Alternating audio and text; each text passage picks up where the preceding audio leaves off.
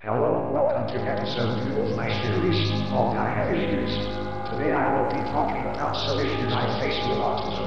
Grab some popcorn, this one is going to be longer. And before you all talk in comments, the video. I will be explaining how my life works. With it, and you might be able to see people with autism in new light. Imagine before measles and autism speaks.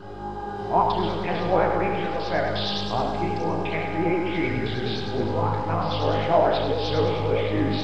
I am not sure what I am, but the spectrum I fall into is the basic autism spectrum. There are multiple other spectrums to autism.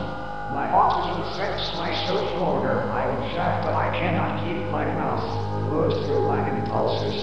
Many people hate me for this and call me guilty obsessive traitor, which I am none of those things. Many people call me retarded or stupid just because I have tested as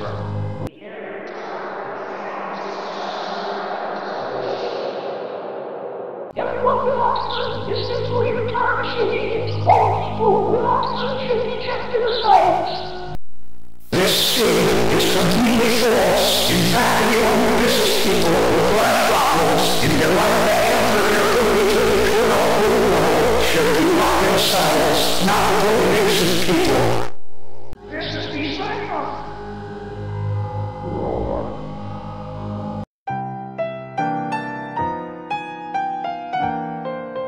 It looks like you have to go get some exercise.